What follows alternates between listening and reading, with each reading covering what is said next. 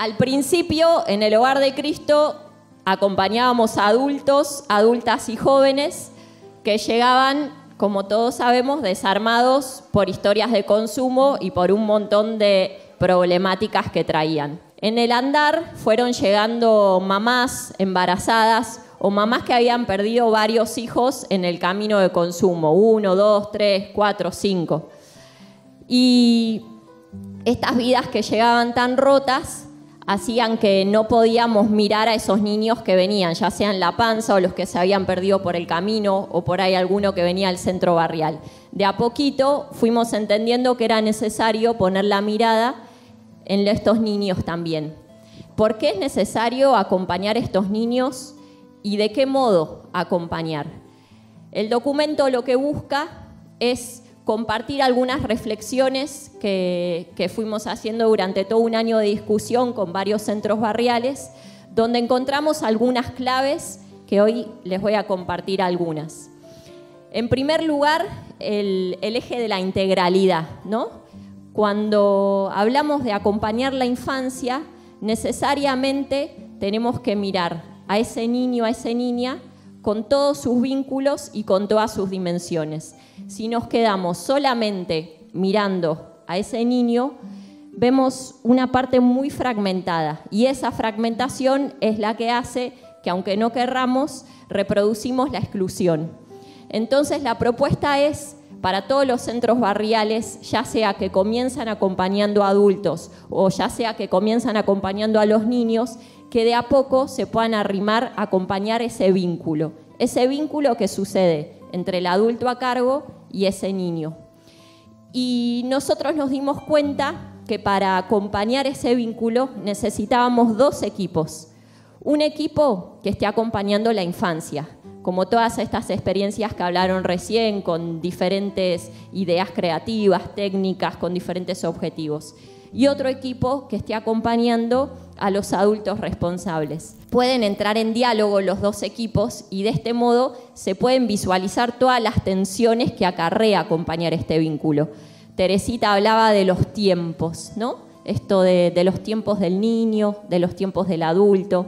¿Cuántas veces nos preguntamos qué hacer, qué hacer con situaciones de mucho dolor, de mucha violencia, de mucho abandono, mucha fragilidad? Las tensiones y las preguntas van a estar siempre. Pero la clave es que estén en diálogo las dos miradas y entre todos poder tener una mirada más profunda de cómo construir el camino y el proceso de acompañamiento. Muchas veces los dispositivos, las instituciones, las perspectivas nos proponen una mirada, a mi gusto, un poco exigente del modo de maternar, ¿no? Llega una mamá a un hospital con 18 años, solita, no está con la pareja, con la familia no tiene vínculo y como se droga, bueno, le sacan al bebé. Y tiene que ser la mejor mamá del mundo, ¿no? Pero tiene que ser la mejor mamá del mundo las 24 horas viviendo en la calle sin ninguna oferta de respuesta concreta.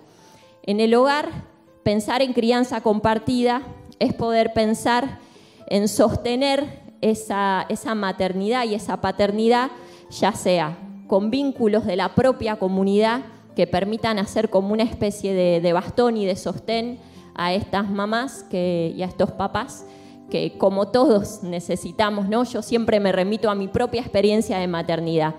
Yo amo ser madre, pero necesité un montón de personas y de espacios donde sostenerme para poder llevar a cabo mi maternidad. Bueno, el hogar, la idea es que pueda hacer lo mismo la experiencia de Madre Teresa, que comentó Susi, en esto de viviendas comunitarias para mujeres, fue pensada para poder alojar un lugar concreto, material, donde esa madre pueda desplegar su maternidad. Lo que nos pasaba era, bueno, te tenés que internar porque no puedes consumir en la calle con tu bebé, pero si te internás tenés que dejar a tu bebé. Digamos, al final siempre te encontrás en un callejón sin salida donde el sistema, la oferta más cercana es cortar digamos, sacarte ese niño. Entonces, pensemos no solamente cómo acompañar a esos niños, cómo acompañar ese vínculo y pensar espacios concretos donde poder desplegar esa maternidad y esa paternidad porque si no pensamos en respuestas habitacionales, si no pensamos en los pañales, si no pensamos en, la pata más real, eh, el vínculo flota en el aire.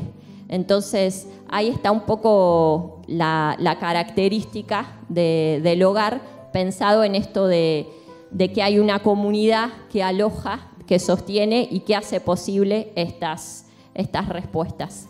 La propuesta de contarles así muy chiquito lo que es el documento es que puedan hacer el curso virtual, que el taller que armamos, eh, es un primer taller para trabajar el documento y la idea es poder rescatar todas las experiencias interrogantes y poder ir encontrando entre todos el camino, porque no es lo mismo una experiencia en capital que una experiencia en la Patagonia, una experiencia en el norte del país. El taller consistió en tres eh, momentos, tres foros, en los que en el primero era, a raíz de este documento que Luchi trató de sintetizar, es muy fácil, es muy simple, es compartir este documento y que entre todos compartamos cuál es nuestra mirada sobre esto que acaba de explicar Luchi. Ese vínculo, cómo ayudamos, cómo acompañamos ese vínculo, fortalecer ese vínculo entre eh, adulto responsable, referente afectivo, madre, padre de ese niño y el niño, poniendo nuestra mirada en el niño, pero sin dejarla de poner en ese vínculo.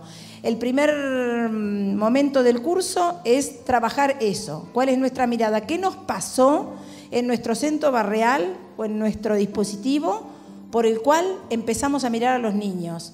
Un especialista en infancia nos dijo una vez que nosotros teníamos en el hogar de Cristo, en la familia grande, puesta la mirada del metro cincuenta para arriba que nos costaba muchísimo bajar la mirada del metro cincuenta para abajo. Y realmente todos los que estábamos ese día dijimos, sí, es verdad. Llegó un momento que en cada centro barrial dijimos, miramos para abajo y dijimos, hay niños. Y empezamos a ver ese niño como prioridad, ¿no? Sin sacar la mirada de sus madres o de sus padres. ¿eh? Entonces, un poco es eso, compartir eso. ¿Qué nos pasó?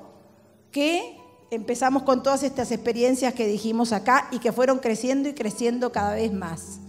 Hasta el punto de ya directamente abrir para niños, olvidarnos hasta de abrir algo para los más grandes.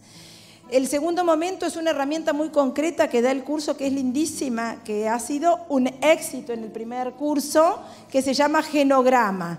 Es una herramienta que nos ayuda muy bien a ver la complejidad que rodea ese niño la podemos en un papel escribir que es, para hablarlo pronto, es como hacer un árbol genealógico de ese niño. Compartimos esa herramienta y no solo eso, sino que hacemos una actividad eligiendo algún niño al que tratemos y poder armar entre todos los del centro barrial o el dispositivo ese genograma.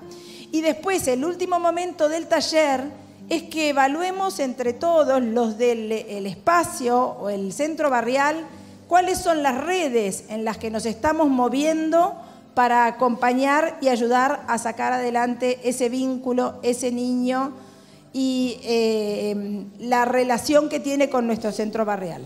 Necesitamos que lo, necesitamos que muchos lo hagan, porque queremos que este tema de infancia realmente empiece a correr fuerte eh, por todos nuestros centros barriales. Entonces, la verdad que es un motivador, es un disparador muy lindo este taller y a nosotros también nos da, en las devoluciones de ustedes, nos da mucho material para poder seguir trabajándolo y hacer un taller de infancias dos. Hemos recogido muchísimas cosas de los aportes que hicieron ustedes, los que lo hicieron en este taller, así que estaría muy, muy lindo que podamos ser cada vez más los que podamos realmente enfocarnos en esa mirada de un metro cincuenta para abajo sin dejar de ver todo.